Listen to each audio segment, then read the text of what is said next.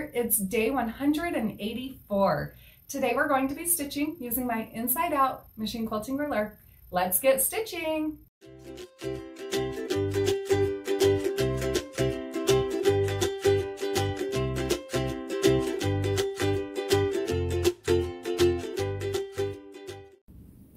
I'll start out by using my blue Mark-B-Gone marker and marking a T through the center of my block.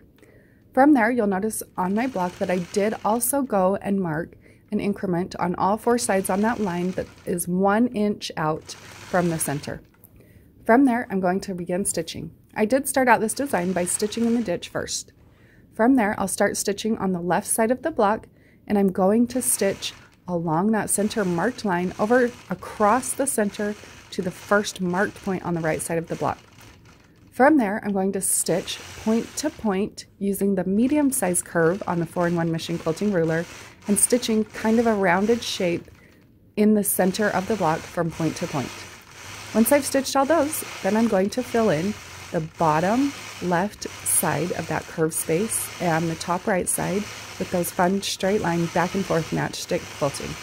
Now I mentioned this many times before, I'm doing just matchstick quilting here because I want to stick with ruler work, but this is your design. If you want to stitch something more like pebbles or swirls, something heavy in this area, it's all about creating texture with heavy dimension. So after I've stitched and filled in those lines, then I'm going to fill in the top left corner of my block with those heavy matchstick lines, creating kind of an alternating design. Once I've stitched all the way to the top, then I'm going to travel along my marked line right through the center of the block down to the bottom where I'll stitch those straight line back and forth matchstick quilting in the bottom right corner of my block. I'll stitch that design all the way up to the center marked line where I'll stitch along that. Once I've stitched along that line, I'll spritz away those marked points and I've got an adorable quilt block design.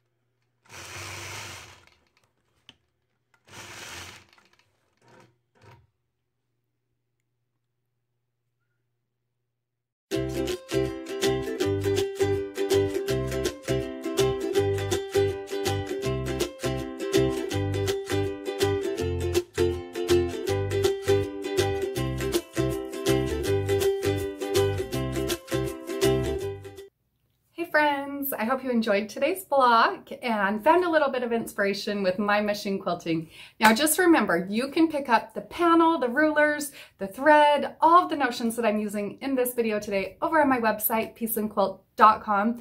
And don't forget to share your progress pictures over on Instagram using the hashtag Let's Stitch with Natalia.